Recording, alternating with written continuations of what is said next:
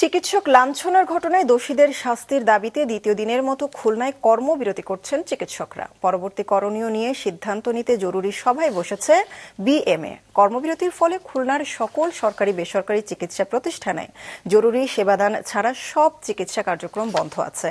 এতে চরম বিপাকে পড়েছেন রোগীরা। চিকিৎসক লাঞ্ছনার ঘটনায় সোনাডাঙ্গা থানায় গতকাল বাদী ও বিবাদী পক্ষ পরস্পরের বিরুদ্ধে মামলা দায়ের করেছে। চিকিৎসকের মামলায় পুলিশের এএসআই নাইমকে সাতক্ষীরা পুলিশ লাইনে ক্লোজ করা হয়েছে। বিভাগীয় তদন্ত করে তার বিরুদ্ধে পরবর্তী ব্যবস্থা নেওয়া হবে বলে জানিয়েছে পুলিশ।